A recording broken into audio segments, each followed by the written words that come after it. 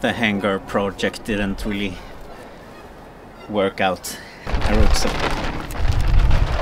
I wrote some notes for this video on some extra sticky post-it notes.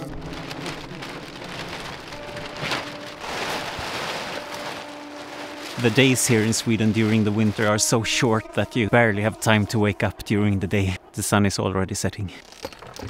I've found out that I, I'm always setting myself up for failure in different ways in different areas of my life. I take on projects too big to complete. I sound like a robot. I'm not a robot, I'm from outer space. I only fall in love if the outcome is for sure a broken heart. I started building this amusement park without the means and time to take care of it. I invite people too late to come to my housewarming party.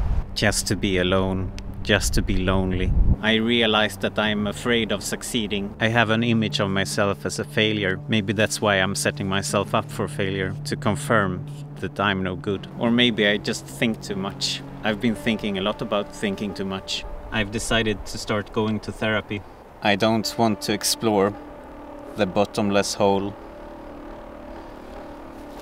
In order to bring Happy Go Lucky Land to life, I must face my fear of succeeding. I'm frightened to work towards my goals, but I have to fight that fear. That's why I haven't made any videos here. Of course, I have a lot of issues being an alien here on planet Earth. It's really hard to speak the language. It takes a while to get used to it and not sound too robotic. And if this works, if I learn how to deal with my issues, maybe there will be a continuation of the saga, the Happy Go Lucky Land story.